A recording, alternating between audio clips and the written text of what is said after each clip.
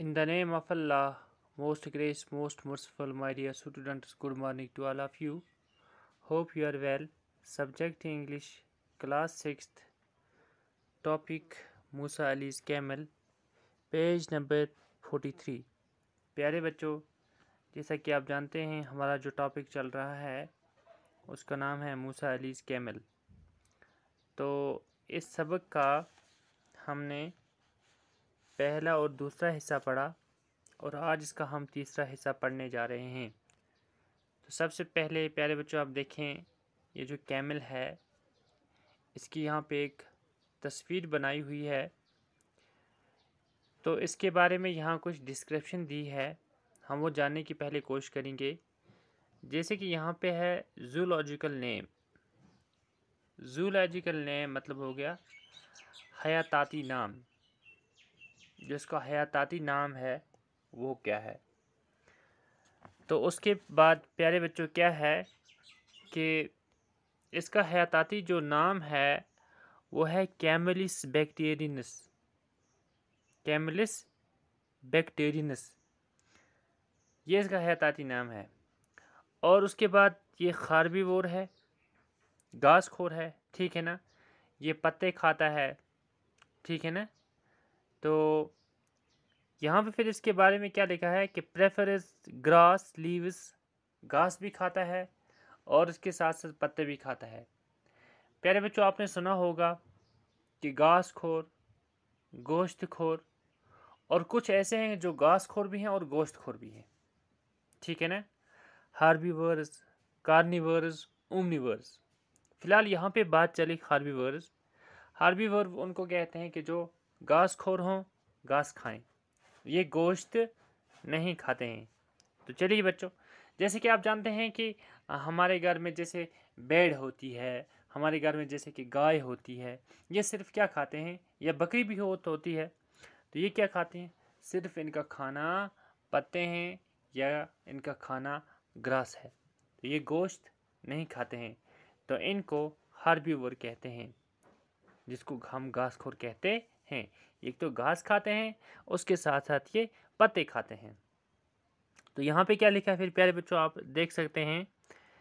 Prefers grass leaves and shrubs but will eat dry vegetation and salt shrub and salt bush that other mammals avoid तो घास के पत्ते और झाड़ियों को तरजीह देते हैं।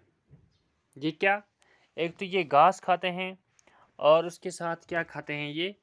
ज़्यादा किसको तरजीह देते हैं? झाड़ियों को।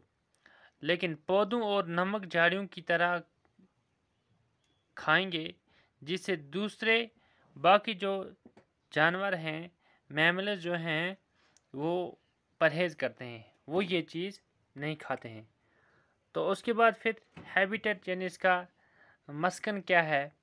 ठीक है ना? इसके बारे में हम जानते हैं।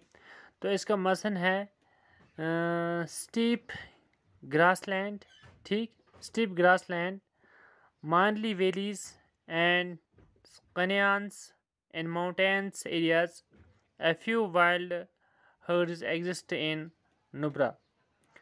तो भेड़ियों की सरजमीन पहाड़ी इलाकों में बुनियादी तौर पर, वादियों और वादियों में नहीं है।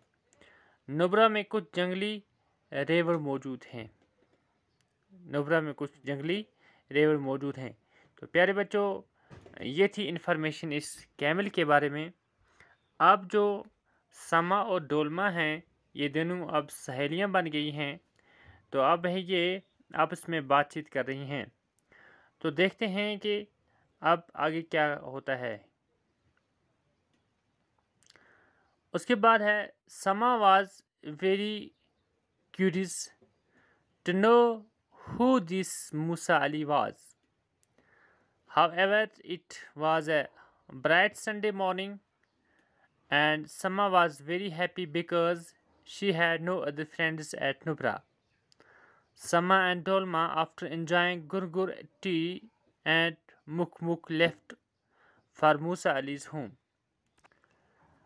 अब समा जो है, ये बहुत, यानी कि समा जो है, ये बहुत ख्वाहिशमंद थी।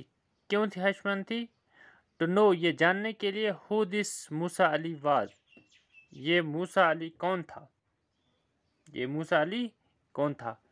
कि समा ये जानने के लिए बेताब है, समा ये जानने के लिए ख्वाहिशमंद है, कि मैं देखूँ कि ये मूसा अली कौन था। It was a bright Sunday morning and Sama was very happy तो ये क्या था? आतवार का दिन था।